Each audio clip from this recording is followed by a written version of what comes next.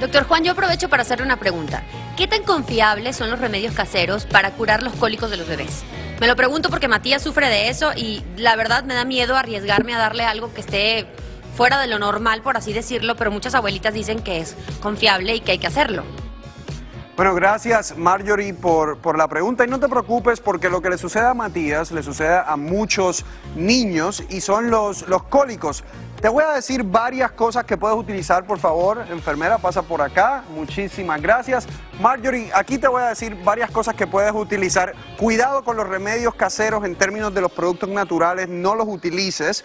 Mira, puedes ponerlo en una mecedora porque el movimiento le ayuda bastante.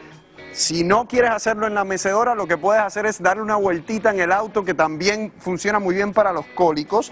Lo otro que puedes, ah, míralo aquí, lo otro que puedes utilizar es el sonido, como un vacuum cleaner. El sonido hace que el niño eh, se, se disperse, que se olvide del dolor y eso también le puede ayudar. Y finalmente, una toalla caliente, ten cuidado obviamente que no se vaya a quemar, pero un poquito calientita encima del abdomen, porque eso también le puede ayudar para el dolor. Así que mucha suerte para ti, mucha suerte eh, para Matías eh, y felicidades obviamente por Matías.